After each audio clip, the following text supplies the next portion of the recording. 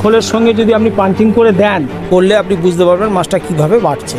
এই দুটো মাল দিয়ে যদি আপনি ডিম ফেলেন পরীক্ষা করে দেখে নেবেন যে আপনার মাছ চাষে বেশি লাভ পাবেন প্রফিটের জায়গায়। ডিম চাষের পদ্ধতি। আপনারা মৌয়া খোল মেরে ডিম ফেলেন, সর্ষের খোল দেন। ডিম চাষের সময় যদি আপনারা এই গ্রোথ বলে যে পাউডারটা আছে, এই গ্রোথ দেড়শো টাকা দাম। এই মালটা দিয়ে যদি ডিম ফেলেন, আর ওর সঙ্গে আপনার এই একটা পাউডার মৌমাখলের সঙ্গে দিতে হয়, আটশো ষাট টাকা এক কেজি। এই দুটো মাল দিয়ে যদি আপনি ডিম ফেলেন, আপনি ধরুন দশ বাটি ডিম নিয়ে আসলেন দুটো জায়গায় মাছ ফেলবেন। একটা জায়গায় এই গ্রোথ বলে পাউডারটা আর এই জিনিসটা আপনি দেবেন। আর একটা জায়গায় আপনার পদ্ধতিতে আপনি চাষ করবেন। আপনি যে এই মেডিসিনটা দেবেন, সেই মেডিসিনটা একটা বল কম দেবেন। এবং যখন মাছটা যখন জন্মাবে, তখন আপনি পরীক্ষা করে দেখে নেবেন যে আপনার কোন পুকুরের মাছটা বেশি হলো।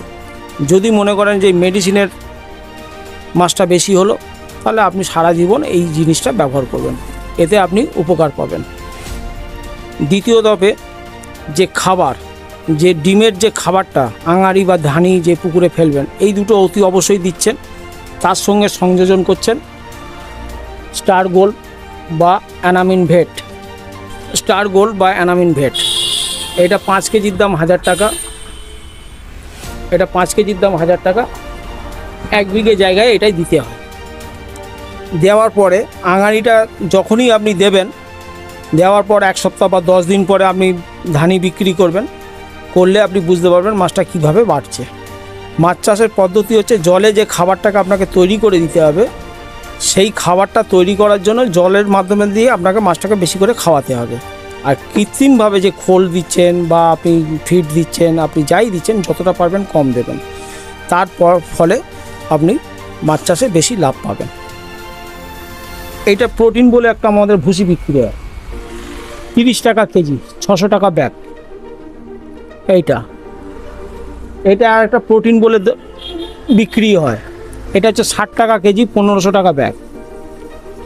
এই দুটো জিনিস সর্ষের খোলের সঙ্গে যদি আপনি পাঞ্চিং করে দেন, মিশিয়ে দেন, আপনি ধরে নিন যে পুকুরে পঁচিশ বস্তা, তিরিশ বস্তা সর্ষে খোল খাওয়ান বা মাল তোলেন, সেই পুকুরে আপনি দশ বস্তা, পনেরো বস্তা খোল খাওয়াতে পারবেন না। তাহলে এই পনেরো বস্তা খোল যে আপনার বাঁচলো, এটাই হচ্ছে আপনার প্রফিটের জায়গা। এবং মাছটা দেখবেন যে যে খোলটা খাইয়ে যে মাছটা ওজন হতো, তার থেকে বেশি ওজন হবে বা তার থেকে বেশি বৃদ্ধি পাবে। বা বেশি আয় দেবে, জন্মাবে। আপনি বিশ, পঞ্চাশ, একশো টাকা বা দেড়শো টাকা কম হলো সর্ষের খোল হতে পারে, ভুট্টা হতে পারে, মাছের যাবতীয় খাবার। আমার প্রতিষ্ঠানের নাম সত্যনারায়ণ ফিড সেন্টার জুলপিয়া বাজারে দোকান আছে আমার। লোকেশান হচ্ছে বারাইপুর স্টেশন, দক্ষিণ চব্বিশ পরগনা বারাইপুর স্টেশন। শিয়ালদা থেকে যে কোনো ডায়মন্ড হারবার, লক্ষ্মীকান্তপুর, কাকদ্বীপ, নামখানা, যে কোনো ট্রেনে বারাইপুর আসবেন। বারাইপুরে এক নম্বর প্ল্যাটফর্ম থেকে বেরিয়ে সামনে অটো স্ট্যান্ড আছে। অটো স্ট্যান্ড থেকে পনেরো কুড়ি মিনিট লাগবে আমার দোকান। সত্যনারায়ণ বাসনালয় ফিট সেন্টার জুলপিয়া কয়েলের মোড়, হসপিটাল, নেয়ার হসপিটাল। আমাদের এখানে আপনি ফিট পাবেন। যে কোনো জায়গার থেকে কম পয়সা ফিট পাবেন। সেটা আপনি গোদরেজ কোম্পানি পেতে পারেন, শিবশক্তি, অমৃত নিতে পারেন, অন্নপূর্ণা ফিডের মাল নিতে পারেন। যে কোনো মাল যাচাই করে নেবেন।